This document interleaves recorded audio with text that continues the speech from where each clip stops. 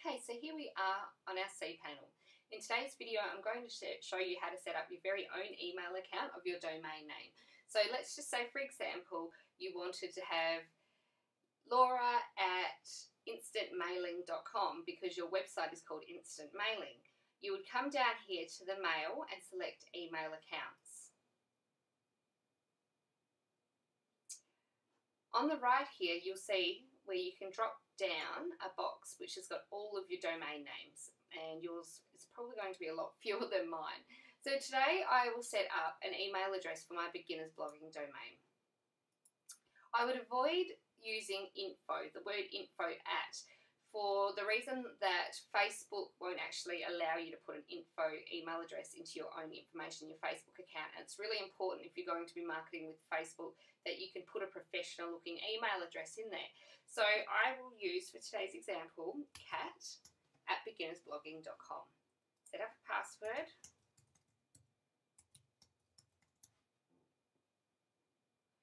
And choose to make it unlimited and then create that account. Okay, now I've already got, now I've got my very own kat at beginnersblogging.com. Very exciting, it's completely super easy, isn't it? So you don't have to be paying all these expensive fees to do these little things yourself. Okay, so now we want to set it up in your mail account. So come over here. So that way if you're using Microsoft Outlook or iMail or whatever your email program is, you can have these messages delivered straight to your inbox. So you're not having to come online and do it. So we're going to choose to configure our email client. And HostMonster is fantastic because they do video tutorials for everything. So if you get stuck, you can simply click on this button and it'll show you an example of how they say to do it.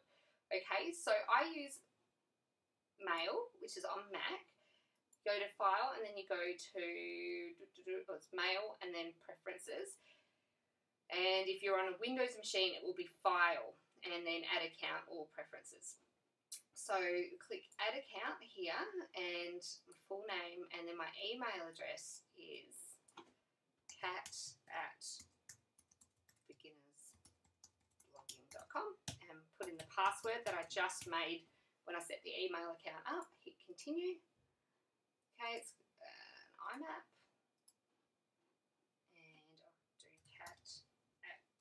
just so this description is so you know which mailbox it is when you're over here looking at your different email addresses. Okay, so on this page it's got incoming mail server name. So we'll right click, copy. And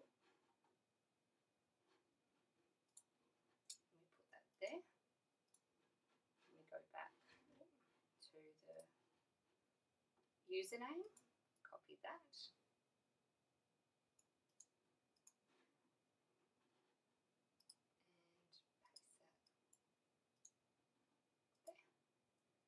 And we've got the password, so we hit continue.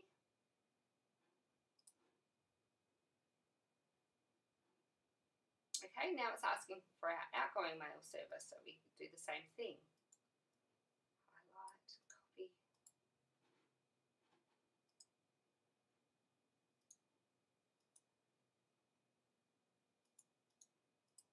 And the description.